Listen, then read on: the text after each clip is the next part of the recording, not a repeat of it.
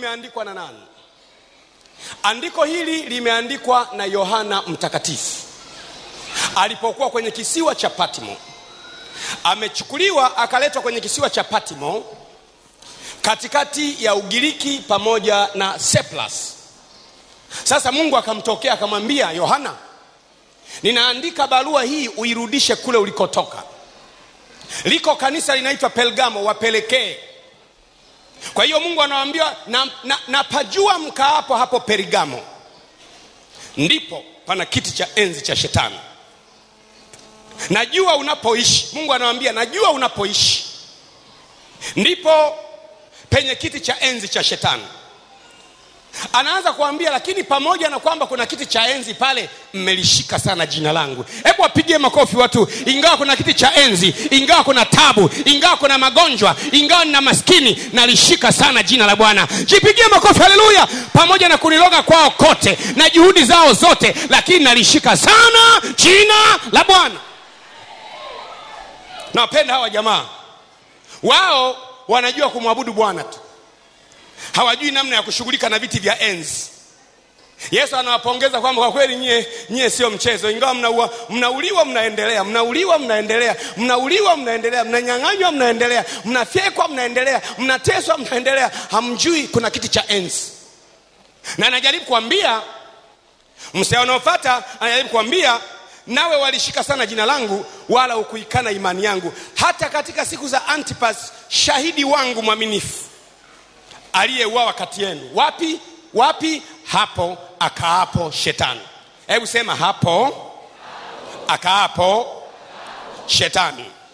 Rudia hapo. Akaapo shetani. Rudia tena. Ehe. rudia tena. Kuna mahala akaapo. Papo mahala akaapo usifikini ana, kuna mahala anakaa. Kwenye ndoa anaweza kuchagua kukaa eneo fulani. Mambo mengine yote ni salama kila kitu safi lakini eneo fulani. Anakaa hapa. Anasema fanya vyote imba soma nini lakini hapa. Nakaa hapa. Ndiyo maana mtu anamkuta anaongea anasema mimi mume wangu mzuri sana lakini tu ikifika hapa mtu anaongea unajua mimi kwa kweli wanangu ni wazuri isipokuwa tu hapa. Ndio akaapa hapo sasa. Unajua mimi nchi yangu ni nzuri isipokuwa tu hapa. Ndio akaapa hapo sasa. Unajua kwa kweli tunapokaa ni pazuri isipokuwa hapa. Tunapo hapo akaapo shetani. Kunakuwa ni kiti cha enzi. Kiti cha enzi anakuwepo mfalme mwenyewe. Kuna kiti cha enzi anakuwepo mfalme mwenyewe alafu unakuwa na system ya mfalme. Yani ile system ya mfalme system ya mfalme ya kulinda ufalme wenyewe. Kwenye kiti cha enzi ndio, ndio, ndio policy formulation. Yani zile policy za, za, za, za eneo hilo liendeje zinatokea pale. Kiti cha enzi. Kwenye kiti cha enzi ndio kis, kisima cha kila jambo. Kiti cha enzi. Lakini anasema bwana napajua ukaa mnauawauawa sana pale mwambie mwenzako hapo akaapo shetani. Biashara zinauawauawa sana. Ndoa zinauawauawa sana. Familia zinauawauawa sana. Makanisa yanauawauawa sana. Akaapo shetani kuna kuuawauawa sana. Kifo kimetapakaa pale. Lakini kuna viti vya enzi vya aina kadha wa kadha. Kwa mfano kuna viti vya enzi vya wafalme. Kwenye bibilia wafalme walikuwa na viti vyao vya enzi ukisoma kwa mfano kwenye kitabu cha bibilia takatifu wafalme wa kwanza sura ya kumi na mstari wa tisa. Na ahimidiwe mungu wa bwana wako aliyependezwa nawe ili akuweke juu ya kiti cha enzi cha israeli. Hiki ni kiti cha enzi cha mfalme wa israeli. Utaona kwenye maandiko kiti cha enzi kiti cha enzi. Matendo ya mitume sura ya kumi na mbili na mstari wa ishiri na moja. Utaona kiti cha enzi cha helo imefika duniani pap inatisha kweli hebu jaribu kwanza. Kiti chake cha enzi amekaa mbinguni alafu miguu yake hiyo. Ukiangalia hapa dunia unaona vidole tunaona miguu tu. Ukiniona mimi natembea ujue ndio miguu yake. Ukiziona nyayo zangu ujue ndio nyayo zangu. Na ndio maana bibi nasema ni nani aliyewambia kwamba kaeni hapa mpaka nitakapowaweka adui wote chini ya miguu yetu? Na, na, na, na, na, na, na adui wote wa dunia wamewekwa chini ya nyayo zake. Maana yake hakuna ambaye aliyesazwa ambaye hajawekwa chini ya nyayo zake. Biblia inasema kwamba tukisema vitu vyote vimewekwa chini ya nyayo za kristo maana yake ni vyote maana yake kansa chini ya nyayo. Presha imewekwa chini ya nyayo za kristo. Ukimwi umewekwa chini ya nyayo. Umaskini umewekwa chini ya nyayo. Waganga wa kienyeji na wachawi wamewekwa chini ya nyayo. Utakanyaga nyoka na nge na nguvu zote za yule adui. Utamkanyaga simba na mwanajoka. Wamewekwa chini ya miguu yetu. Asikuhangaisha Asiku, anayekuhangaisha. Mwambie uko chini ya nyayo yangu. Asikuangaishe bosi wako. Mwambie uko chini ya nyayo yako. Na unapokuwa unaomba mtaje kwenye maombi. Mwambie bosi mwaka wangwale mwambie bosi ndiringo mwambie bosi fulani uko chini ya miguu yangu kwa mjibu wa bibilia maana bibilia inasema yesu ni kichwa kanisa ni mwili na sisi ndio miguu ya kanisa. Tukitembea kristo ametembea. Tukiona kristo ameona. Tukisikia yesu amesikia. Tukisema yesu amesema. Tukigusa yesu amegusa. Tukihukumu yesu amehukumu tukitenda yesu ametenda. Maana sisi ni mabalozi wa mungu duniani kana kwamba mungu anasihi watu kwa vinywa vyenu kwamba mpatane na bwana. Hakuna mungu atakayekuja umwone hapa. Bibii inasema hakuna mtu aliyemwona mungu akaishi isipokuwa mungu mwana pekee aliyemtoa. Hutamwona mungu kwa macho. Ukiniona mimi hapa nimeumbwa kwa sura ya mungu. Nimeumbwa kwa sura ya mungu. Nasema kama mungu nasikia kama mungu natenda kama mungu. Nikikwambia umepona nenda umepona. Nikikwambia umepata nenda umepata. Nikikwambia hutaonewa tena nenda hutaonewa. Nikikwambia umeshinda nenda umeshinda. Nikikwambia wamekatwa wamekatwa hata kama bado wana majani ya kibichi. Nikikwambia wameng'olewa wameng'olewa hata kama bado wamesimama. Nikisema wamepondwa wamesagwa hata kabla hawajasagwa. Mimi ni rungu la bwana na silaha za bwana za vita. Kwa mimi tavunjavunja mwanamke mchawi mwanaume mchawi tavunjavunja kiti cha enzi. Na leo hiyo ndiyo siku ambayo mungu amepanga. Tuviendee viti vya enzi vya maisha ya kila mtu. Tunabomoa bomoa. Ndipo wakapiga kelele wakasema bomoeni bomoeni mpaka msingini. Pigie yesu makofi. Wii!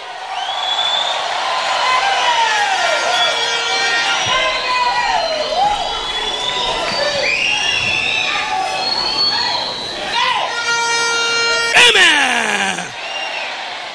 Viti vya enzi vya mungu. Chanifurahisha za kiti cha enzi. Kisha nikaona kiti cha enzi cheupe. Na yeye aliyeketi juu yake mala dunia ikakimbia uso wake. Yaani kiti cha enzi cha mungu. Ni enzi yake. Mahala penye utukufu mwingi. Ukifika hapo huwezi kupaangalia. Huwezi kupaangalia hivi ukaishi. Yaani pako pa namna yake. Kiti cha enzi cha mungu. Ndio maana ukisoma maandiko uta, utakuta kiti cha enzi cha mungu na hata kwenye kitabu cha wafalme wa kwanza sura ya ishirina mbili na mstari wa 19 mikaya akasema sikia basi neno la bwana. Nalimwona bwana ameketi katika kiti cha enzi na jeshi lote la mbinguni limesimama upande wa kushoto wake wa kuume na wana wa kushoto. Unaona hapa mikaya amefunguliwa macho aone kiti cha enzi. Alipoona kiti cha enzi akaona majeshi yamesimama pale. Kwa nini kwa sababu ndio control point yanalinda. Unapoambiwa kwamba kuna kiti cha enzi ndani yako watu ambao wamejengewa viti vya enzi hata kama ukimwombea hatobowi. Mpaka umfundishe vita. Kwa sababu ndani yako wamejenga mtambo. Kuna mtu mwingine unamwona sio binadamu ni mtambo. Ni mtambo. Watu wengine wakikuangalia wanapokea chaji wana chaji yaani ile wanadamu wachawi waganga wakienyeji wasoma nyota wasihiri wanga wakipungukiwa nguvu zao za kuloga wakikuangalia wewe wana chaji wakipoteza chaji wana chaji nitakuonyesha kwa nini unaweza kukuta watu wamekaa baharini wote wameangalia baharini. Alafu wewe ukasema kwamba wana relax kwa sababu ya upepo. Usidanganywe wana chaji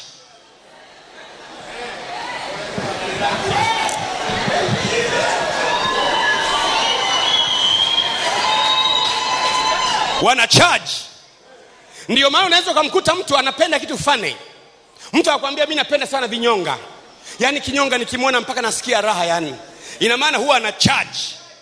Kwa kinyonga kinyonga yule vinyonga wale anaosema anawapenda wana, wana, wana, wana kitu cha enzi ndani yake. Ukiwaangalia unapokea charge unaweza ukakuta watu wamekaa wameningiza miguu yao unasema eti kila siku fulani watu wanakaa baharini wana relaksi kwa sababu ya upepo kwa sababu ya nature. Wana, wana charge.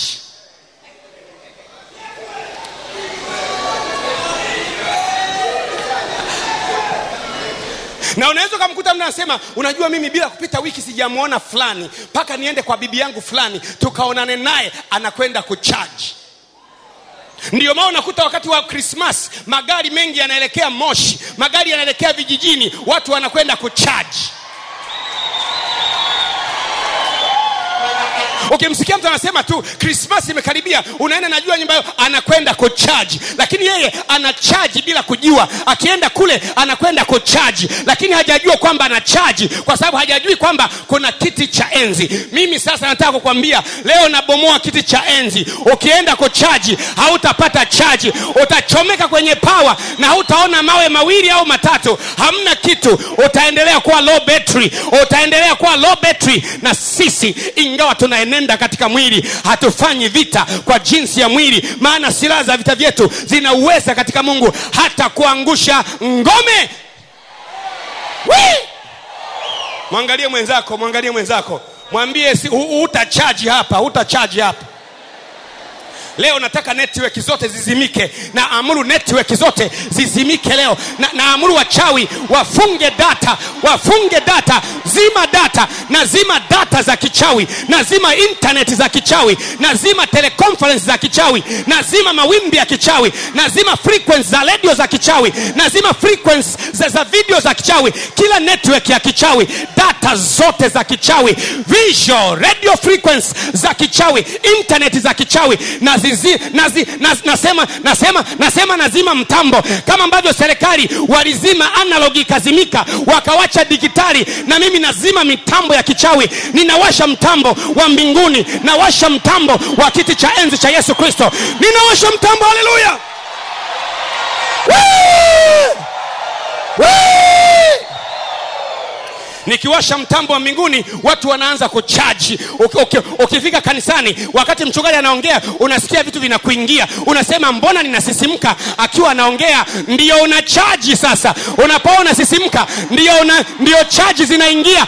Umefika kwenye chaja husika umefika kwenye chaja reliable. Unaposikia nywele zinasimama ujue ndio chaji zinaingia. Unaposikia kama baridi baridi ujue ndio chaji zinaingia. Ukisikia kama moto ujue ndio chaji zinaingia. Ukisikia woga ujue kiti cha enzi kinataka kung'olewa kinataka kuporomoka kinataka kuanguka.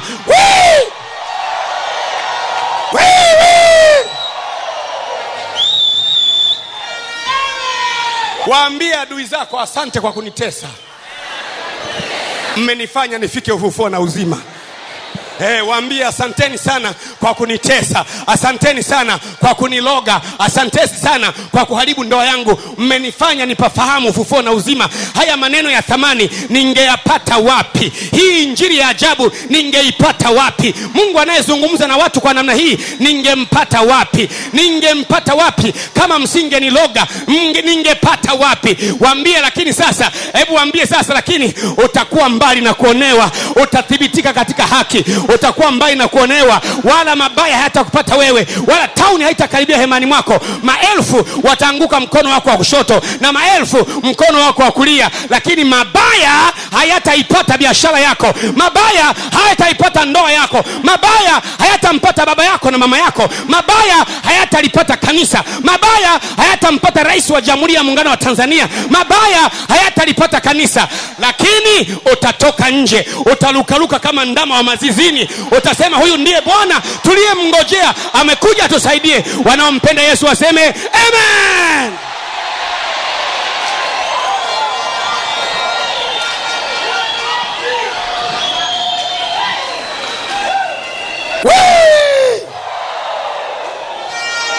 Unajua jambo moja limenifurahisha sana. Wakati wakati tunatoka tumetoka tumetoka muda mchache dodoma kuja hapa asubuhi. Wakati mnaanza maombi wanaomba. Kwenye helikopta yetu kuna system mtu akiwa na kwenye redio unasikia redio yetu. Kwao nilikuwa nasikia redio nikiwa ndani ya, ya, ya, ya, ya helikopta.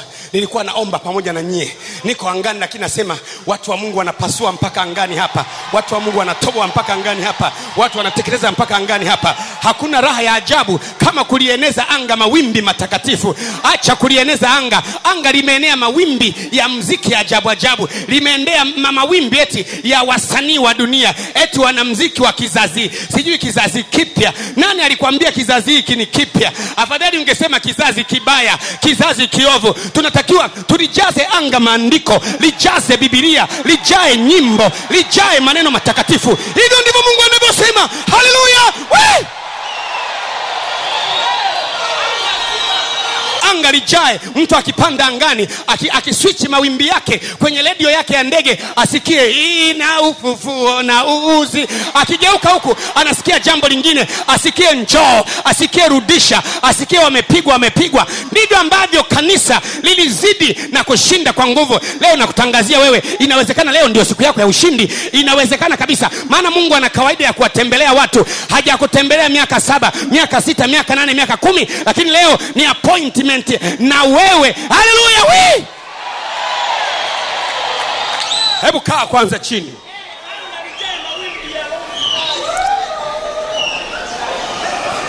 sasa wakati naimba wakati napromoka na, na, na napromoka pale e, mapilot wetu tuna mapilot wawili wazuri sana wataalam wazuri. Mapilot wetu wakati na, na, nimeweka headphone na, na, na, na, na bwaga remboro pilot mmoja akawa ananisemesha akamwambie mwache baba ameshamwagika hapo achana naye. Na mimi napromosha, naongeza mawimbi angani. Nataka nikwambie saa ipo na saa imekuja kwamba tujaze anga tuijaze dunia tujaze anga kila mahali. Wana wa mungu waseme amen na amen na amen na amen. Falme za dunia zimekwisha kuwa za mwanakondoo na za bwana wetu.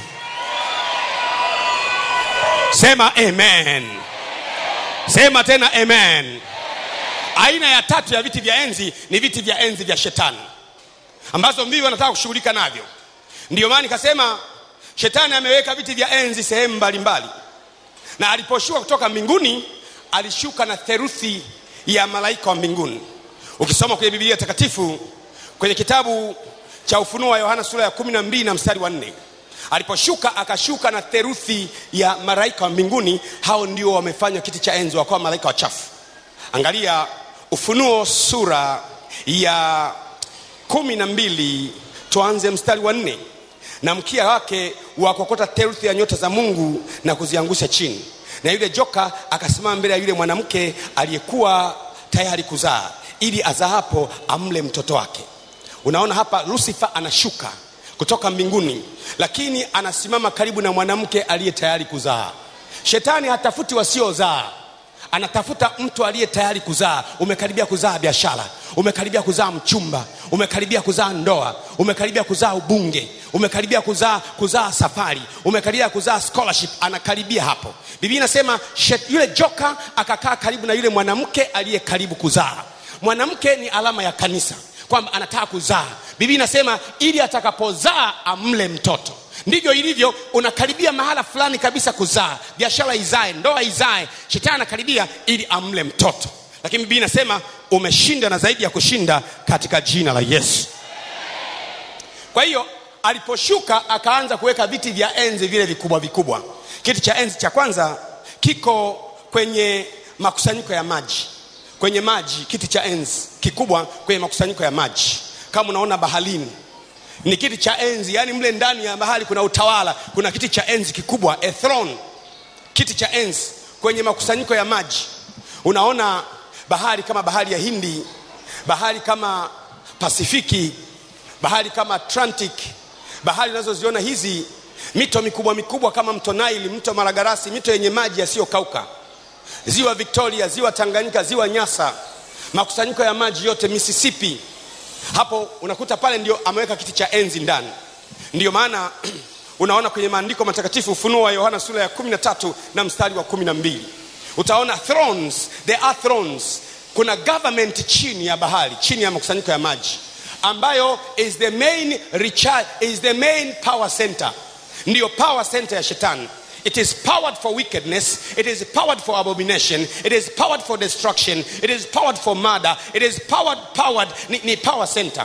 Ime, imejazwa uharibifu, imejazwa ujambazi, imejazwa kila aina ya uofu ndani ya makusanyiko ya maji. ndiyo maana unaona kwenye kitabu hicho cha ufunuo ile, ile, ile, ile sura, sura, sura ya kumi na mbili na mstari wa kwanza hadi wa tatu kisha nikaona mnyama akitoka katika bahari ana pembe kumi hebu sema mnyama akitoka katika bahari. Na unaona kisha nikaona mnyama akitoa katika bahari ana pembe kumi na vichwa saba. Na juu ya pembe zake alikuwa na vilemba kumi. Na juu ya vichwa vyake majina ya makufuru. Na yule mnyama niliyemwona alikuwa mfano wa chui. Na miguu yake ilikuwa kama miguu ya dubu. Na kinywa chake kama kinywa cha simba. Yule joka akampa nguvu yule nguvu zake na kiti cha enzi nguvu zake na kiti cha enzi cha enzi na uweza mwingi sana unaona huyu ni mnyama atokaye baharini ambaye ni kiti cha enzi ndani ya bahari amepewa enzi utawala. Na, na ndio maana ndani ya makusanyiko ya maji kuna kiti cha enzi. Ndio maana unasikia watu wanasema kuna chunusi. Ukienda vibaya kuna chinusi. Unasikia ndani ya bahari kuna mamis kuna samaki ambaye kichwa kingine ni samaki huku mwili ni mtu. Unasikia story ndani ya bahari ndani ya bahari kuna makusanyiko ya maji ni viti vya enzi. There are thrones ndiyo maana nasema kwenye biblia nasema na bahari ikawatoa wafuao. kuna ulimwengu mwingine ndani ya maji. Ulimwengu kama unavyouona ulimwengu huu. Kuna baadhi ya watu ambao waliwahi kukaa baharini kwenye kuwarudisha watakwambia.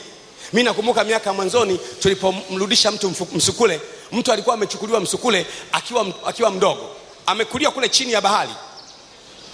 Unajua wewe hujajua maana yake. Unaweza ukamwona mtoto mdogo kafa ana miaka minne au miaka mitano alafu mkajua amefariki. Kumbe amechukuliwa amepelekwa kule chini ya bahari. Akakuwa akawa mtu binadamu kabisa. Huku mlishazika. Na ndio maana mi nasema siku ya aibu inakuja. Inakuja kabisa.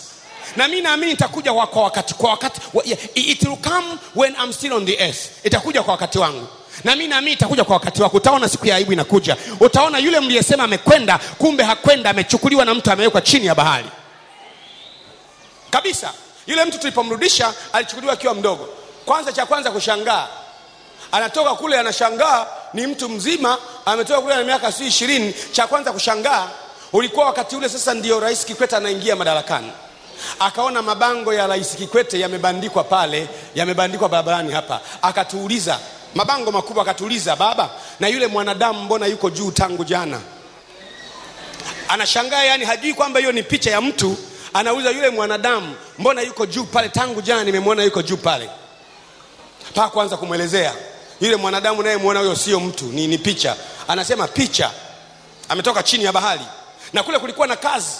Na bahati mbaya yule mtu kuna watu anakombolewa kutoka kule anaendelea na anasonga mbele. Mpaka leo yupo ameolewa na watoto familia anaitwa ebeneza ebeneza yupo? Eh, bahati nzuri yuko hapa. Ebeneza hebu kimbia hapa. Hebu kimbia hapa ebeneza. Yupo ebeneza huyu hapa. Mpigie makofi ebeneza. Yupo ebeneza huyu hapa. Na ebeneza hili halikuwa jina lake. Jina la ebeneza nilimpa mimi. Mpaka leo yupo huko mp sasa. Mp alikuwa naomba sana huyu. Baada ya kutoka kule alikuwa ananena kwa lugha masaa ishiri na manne. Hakuwa na mchezo lakini alikuwa chini ya bahari. Uli- ulikuwa unakaa sehemu gani ebeneza? Geti la nane, ulikuwa unakaa wapi? Geti la nane, alikuwa anakaa geti la nane. Kwa- kwani kule kuna mageti? Ndio. Mageti yanafananaje? Mi najua nilipokuwa nakaa. Wewe ulikuwa ulikuwa unakaa geti la ngapi? Geti la nane, geti la nane ulikuwa unafanya kazi gani? Nilikuwa naandika watu wanaotoka duniani wanakuja huko chini, ulikuwa una andika wanadamu wanaotoka duniani wanateremka kule chini, unaandika? Ndiyo. Unaandikaje? Unaandika majina yao, kwa nini unawaandika? Ndio kazi niliyokuwa nimepewa. ulikuwa unaandika wanadamu wanaotoka duniani kuingia baharini? Ndiyo, kwa hiyo huko chini baharini kuna ulimwengu? Ndiyo, kuna watu? Ndiyo, watu watu wa mauzauza au watu kama sisi watu wa mauzauza na wengine wapo kama sisi ambao sisi ni wanadamu tuokuwa tunafanya hizo kazi. sasa wewe kazi ulipewa na nani Nilijikuta niko kule tunafanya hiyo kazi, aliyenipa hiyo kazi simfahamu mpaka leo. na, na, na, na kule kule kule kuna usiku na mchana Hakuna usiku wala mchana, ni masaa yote kazi.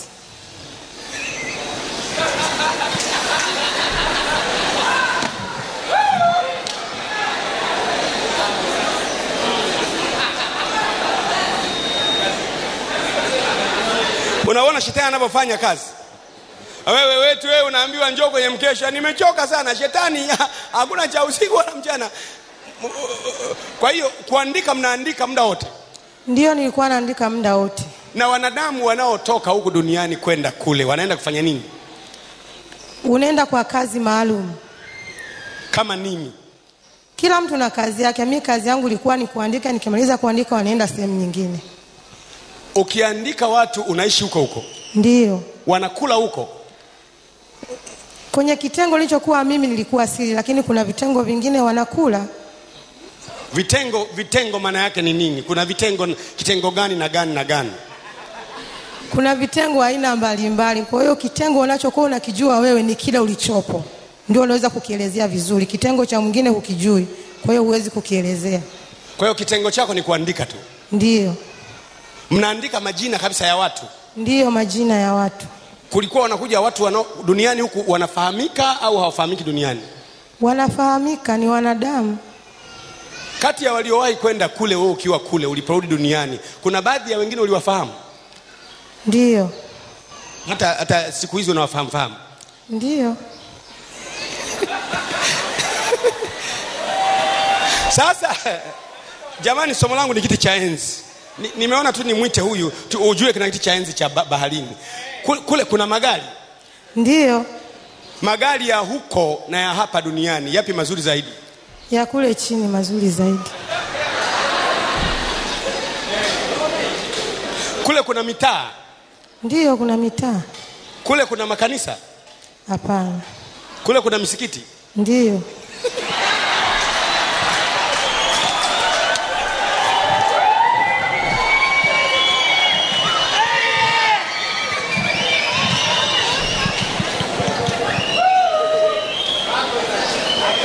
sio mimi kasema yeye. Na na na na watu wa kule wanafananaje? Wanakuwaje watu wa kule? Wanadamu kama wanadamu, nafahamiana ni wanadamu, na mashetani nao wanakuwa ni mashetani. mashetani mnakuwa ukimwona shetani unajua ni shetani na huyu ni mwanadamu. Ndiyo, unafahamuje kwa sababu wanadamu ni kama mwanadamu jinsi nilivyo, na ndio maana hata niliporudi ule tuliokuwa nao kule niliwafahamu. Ah, uliporudi wale watu mliokuwa nao kule ukawafahamu? Ndio na mashetani kule mnayafahamuje wao wana maumbo tofauti tofauti. kama nini? Hebu kwa mfano. Tunataka kujifunza bwana kama nini kwa mfano? Anaweza kuwa paka, nyoka, chochote kile anachotaka kuwa yeye anakuwa. anakuwa nyoka anatembea anasemesha watu au anakuwa mtu nyoka nusu? Anakuwaje? Anakuwa nyoka kama nyoka, kwa sababu ni leo anaongea, kwa sababu ule ni ufalume wao, mnaelewana? Lakini lakini ni nyoka. Ndio, ila anaongea. Ndio. akiongea unamsikia vizuri. Namwelewa vizuri na kumsikia vizuri. umbo lingine. Chochote kile, chura, mdudu yoyote yule anaweza kuwa, maadamu tu atimize kile kitu anachotaka kufanya. Unaongea maneno mazuri sana. Maadamu atimize anachotaka kufanya. Kwa hiyo akija kuongea na wewe mwanadamu anaongea kwa lugha yako. Ndiyo, na na anavyotembea anatembea kama nyoka au? Anatembea kutokana na umbo alilovaa linavyokuwa, anatembea kulingana na umbo alionalo. Eh, kama ni nyoka, kama ni mdudu, kama ni ndege, kama ni chula anaonda anaondoka naruka ndio kama ni ndege. Anapaa, kama ni ng'ombe. Anatembea. na na na na, na, na, na, na kule kuna adhabu ukikosa? Ndio kama adhabu gani? Unaweza kupigwa, unaweza kusiginwa kutokana na kosa ulilofanya. Unaweza kusiginwa. Ndiyo,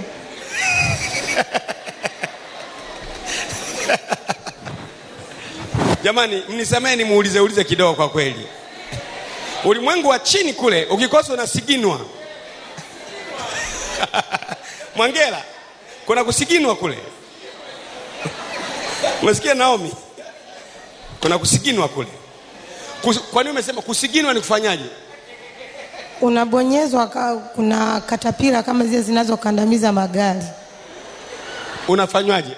Wana, unakaa chini wanakusigina kama wanatengeneza barabara.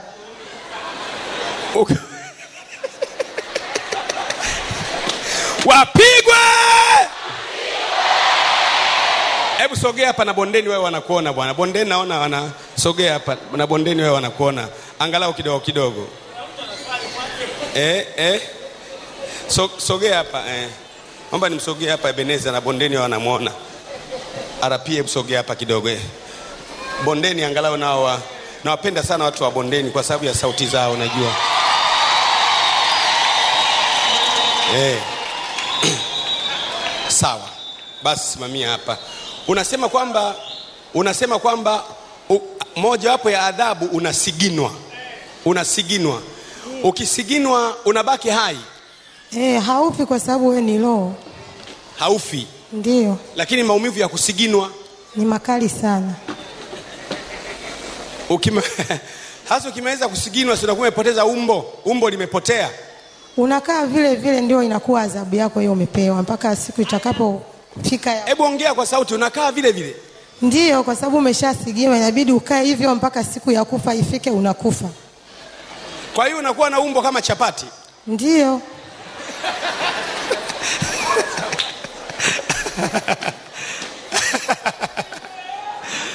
Ah, Pastor Costa ogopa. Asiginwa. Wapigwe.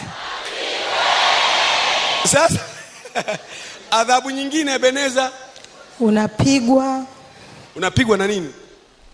unapigwa na fimbo zile za kule kuzimu, Zina zinakuwaje fimbo za huko? ziko kama kamba, lakini zinauma sana. Na na sasa anayekuwa anakusigina ni mtu anaendesha hilo katapila au inakuwa nini? Ni wanadamu nao wako kwenye vitengo hivyo vya kusigina watu. Wanadamu wa kwenye vitengo vya kusigina. Wale wanadamu nao wamechukuliwa duniani. Ndiyo, Wacha mimi ni, nifanye iwe talk show. Nataka mtu amuulize swali Ebeneza. Kuna mtu ambaye nataka kumuuliza swali, nataka kujua zaidi kuhusiana na huko. Huyo alikuwa chini ya maji. Ulipelekwa kule ukiwa na miaka mingapi? miaka miwili. Naona maneno hayo kadogo. Alipokuja huku duniani ndio wazazi wake wanasema huyu mbona mbona tangu miaka miwili alikuwa mtu mzima na miaka ishirini ishirini na kitu anafanya kwenye kitengo uli, shetani ni halisi usifikiri watu wamekaa unaona ufufuo huo wa banduki walishawahi kuona mengi unaweza kujiuliza mbona wanakaa kwenye bandabanda la ajabu? Walishawahi kuona wengi hata ukiwapeleka juani. Hata kama ukihamishia kanisa chalinze kesho yake watu wapo. Walisha walishajua kwamba kuna kusiginwa. Mi nataka nimuulize mtu ambaye ana swali. Umeona kwamba unataka kumuuliza ebeneza swali kuhusiana na ulimwengu ule. Tunataka tujifunze kitu au nimuulize tena. Kwani wale watu wanapokwenda kule chini wanakuwa wanapelekwa na watu au wanaenda wenyewe? Kuna watu nao kazi yao ni kuwatoa huku duniani na kuwashusha kule chini. ni kazi yao. Ndiyo, ni kitengo chao na wao. kazi yao ni kuwatoa watu duniani na kuwashusha chini. Ndiyo, wale wanaowatoa watu duniani na kuwashusha chini wanawa, wanawapeleka chini kwa sababu gani kwa sababu ya kazi maalum za kule chini. kazi maalum za kule chini Ndiyo, sasa kazi gani ambayo inafanywa mpaka mtu atolewe duniani apelekwe kule sielewi kunakuwa kuna yani, kwa sababu kule kuna vitengo vingi. Kwa hiyo unaposhushwa kule chini, unapelekwa kwenye kitengo unachotakiwa kuwa, ndio inakuwa makao yako hapo, inakuwa kitengo chako hapo. Je kuna wengine huku duniani wamekufa na kuna wengine wako hai? Inakuwaje? Wengine wapo waliochukuliwa, yaani kwamba anapopelekwa huku, huku chini duniani anakuwepo au anakuwa ameshakufa? Kuna wengine wanakuwa wamekufa, kuna wengine mwili unakuwa upo duniani, kuna wengine? Wanakuwa wamechukuliwa kwa kufa mwili, wengine mili yao inakuwa ipo duniani. kuna mwingine duniani amefariki kabisa? Ndio. Wamezika. Ndiyo, halaki halafu amekupelekwa kule ndiyo. na kuna wengine duniani yupo E, mwili wake upo duniani, lakini yeye mwenyewe hayupo, yuko chini. ye lakini duniani watu wanamwona Ndiyo, wanauona mwili wake. mwili unafanya kazi Ndiyo, kama kazi gani kwa mfano ana, anakuwa anafanya kazi gani anakuwa kwenye familia yao, anaendelea na, na shughuli za nyumbani. na familia wanajua yupo wanamwona ni mtu lakini saa ingine tabia yake inakuwa ni mbaya inakuwa sio tabia ya kawaida. Kwa hiyo anakuwa alishaenda chini. Ndiyo. Kwa hiyo huku duniani anakuwa na matabia ya ajabu ajabu magonjwa matatizo nini? Ndio nani sasa anayekuwa yumo ndani ya mwili wake anayeleta hayo magonjwa na matatizo? Mashetani ndio anakuwa ndani ya mwili wake. Kwa... lakini yeye hayupo. Ndio ukiangalia hivi wewe unaweza ukajua kwamba huyo hebu angalia huko bondeni huko usiogope wewe. Ukiangalia kwa mfano ukiangalia kwa sababu wewe ulikuwa huku unaweza ukajua kwamba huyo hapo hayupo hapo. Unaweza ukajua? Kwa hivyo alivyokaa huwezi kujua ila utamtambua kwa matendo yake anayoyafanya. Matendo kama nini kwa mfano matendo mfano labda ni mwizi ni mzinzi ni muongo yaani matendo yale ambayo hayana sifa nzuri za mungu anakuwa na matendo fulani ya ajabu ajabu. Ndio. Kumbe anaweza kuwa hayupo. Ndio. La. Kule kule kule kule kuna umeme. Ndio kuna umeme. Wanalipa bili huko. Sijui kama wanalipa kwa sababu ilikuwa sio kitengo changu cha kuwasha umeme.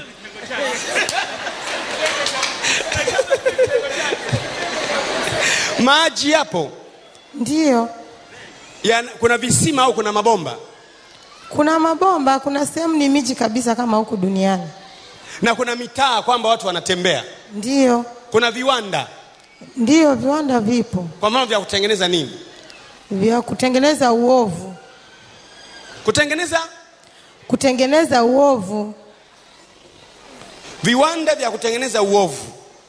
Ndiyo kumbe uovu unatengenezwa e, wanaweza kutengenezea uovu fulani wakam, wakatuma wale watu wanaohusika kuja huku duniani wakaja wakakuwekea ule uovu ukajikuta umebadilika umekuwa sawasawa na uovu waliokutumia. Kwa hiyo uovu na kiwanda? Ndiyo na kule ulikuwa unaona kuna wewe ulikuwa na mkuu wako au ulikuwa mwenyewe tu au humoni alikuwa anakuja kuangalia kazi inayofanya mkuu wako. Ndiyo anafananaje? Alikuwa na maumbo mbalimbali maumbo mbalimbali. Ndio kama nini kwa mfano? Anaweza kwa, akaja kwa umbo la nyoka akaja kwa umbo la, la simba akaja kwa umbo la chui. Akiwa anakuja anaongea kama mtu. Ndiyo. Ni mkali au ni wa kawaida? Ni mkali anataka kazi yake ufanye vizuri bila kupumzika. Bila kupumzika? Ndio akija mnasalimiana? Hakuna kusalimiana kule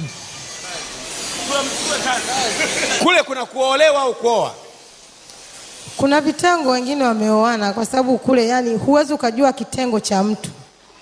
Unajua vizuri zaidi kitengo ulicho wewe unachokifanyia kazi. Kwa hiyo wewe, wewe kumbe ilikuwa ni kuandikisha watu. Ndiyo. Wale unaoandikisha unaandika ni jina na nini? Unaandika jina, jina lake na jina la baba yake. Alafu wanaingia ndani. Ndiyo wana- na aliyemleta yeye anarudi duniani ndiyo wao wakiwafikisha tu wanarudi mi naendelea kuandika. Na nikimaliza kuandika wanaenda wanakotakiwa kwenda. Na anayewaleta anapewa fedha au anafanyaje? Siwezi kujua kama alikuwa analipwa au halipwi wewe unaona mtu tu amefika andika jina. Ndio. Kuna kijumba cha mapokezi au ni wapi? Ni chini ya mti ni nini? Ni ofisi kama ofisi. Ofisi. Ndiyo ina kiti. Ndiyo wanaoingia ni wengi sana au baada ya dakika tano baada au ni msururu? Ni wengi muda wote unaandika. Huwezi kusema utapumzika. Na wanaoletwa kule wanakuwa na furaha? Hawana furaha kwa sababu unajikuta tu umeshafika kule. Kwa hiyo huwezi kurudi huwezi kukataa wala huwezi kufanya kitu chochote. Unafanya kile wanachotaka wao ufanye. Chini ya maji ndio anayesema kwamba hakuna ulimwengu chini ya maji hakuna